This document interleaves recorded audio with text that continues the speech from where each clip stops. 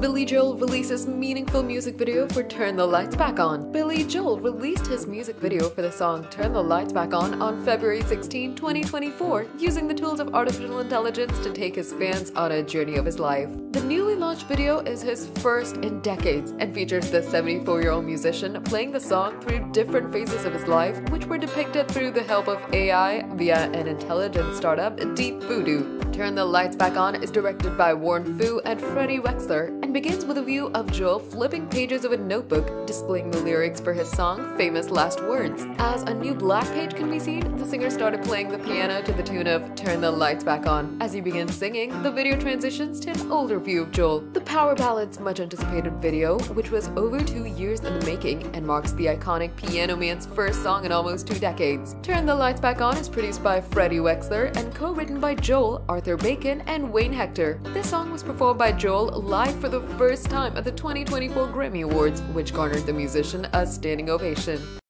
Stay tuned for the latest celebrity updates. Hit the subscribe button and ring the notification bell for all the latest news. Don't forget to show your support by giving this video a thumbs up and sharing your thoughts in the comments below.